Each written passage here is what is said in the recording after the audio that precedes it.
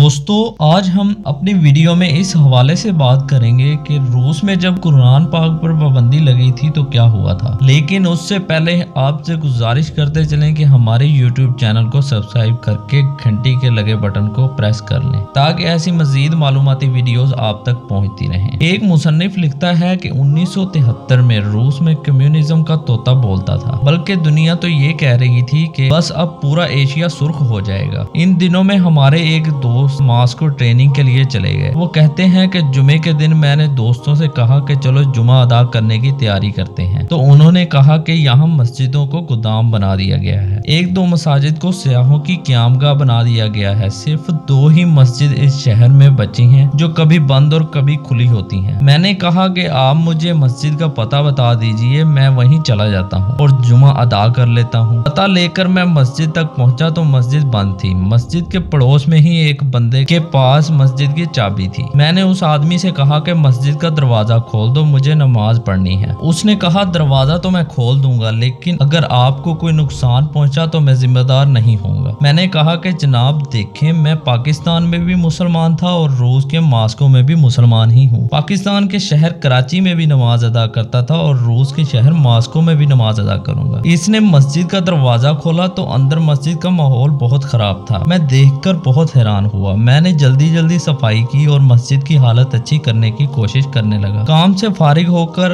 میں نے بلند آواز آواز سے دی کی سن کر بچے مرد عورتیں اور جوان سب مسجد کے دروازے پر جمع ہو گئے یہ دیکھنے کے لیے کہ یہ کون ہے جس نے موت کو آواز دی ہے لیکن مسجد کے اندر کوئی بھی نہیں آیا خیر میں نے جمعہ تو ادا نہیں کیا کیونکہ اکیلا ہی تھا بس ظہر کی نماز ادا کی اور مسجد سے باہر آ گیا جب میں جانے لگا تو لوگ مجھے ایسے دیکھ رہے تھے جیسے کہ میں نماز ادا کر کے باہر نہیں نکلا بلکہ دنیا کو کوئی نیا کام متعارف کروا کر مسجد سے نکلا ہوں ایک بچہ میرے پاس آیا اور کہا کہ آپ ہمارے گھر چائے پینے آئے اس کے لہجے میں خلوص ایسا تھا کہ میں انکار نہ کر سکا میں ان کے ساتھ گیا تو گھر میں طرح طرح کے پکوان بن چکے تھے اور میرے آنے سے سب بہت خوش تھے میں نے کھانا کھایا چائے پی تو ایک بچہ ساتھ بیٹھا ہوا تھا میں نے اس سے پوچھا کہ آپ کو قرآن پاک پڑھنا آتا ہے بچے نے کہا کہ جی بالکل قرآن پاک تو ہم سب کو آتا ہے میں نے جیب سے قرآن کا چھوٹا سا نسخہ نکالا اور کہا کہ یہ پڑھ کر سناؤ مجھے بچے نے قرآن کو دیکھا اور مجھے دیکھا پھر قرآن کو دیکھا اور ماں باپ کو دیکھا اور پھر قرآن کو دیکھا اور دروازے کو دیکھنے لگا میں نے سوچا کہ اس کو قرآن پڑھنا نہیں آتا اور میں نے کہا بیٹا یہ دیکھو اور میں نے قرآن پاک کی ایک آیت پڑھ کر اسے سنائی تو وہ فر فر بولنے لگا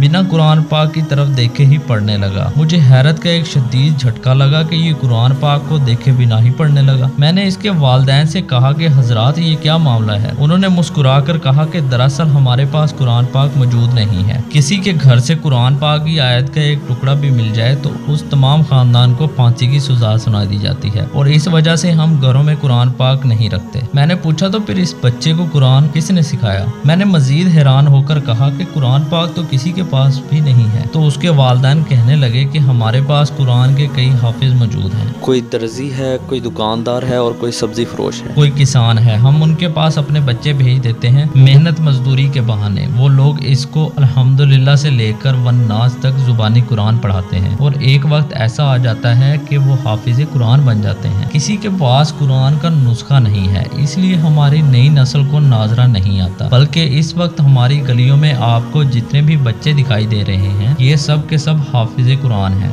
یہی وجہ ہے کہ جب آپ نے اس بچے کے سامنے قرآن رکھا تو ناظرہ کر کے اس کو پڑھنا نہیں نہیں آیا لیکن جب آپ نے آیا سنائی تو وہ فرفر بولنے لگا اگر آپ نہ روکتے تو یہ سارا قرآن ہی پڑھ کر آپ کو سنا دیتا وہ نوجوان کہتا ہے کہ میں نے قرآن کا ایک نہیں بلکہ کئی ہزار معاوضے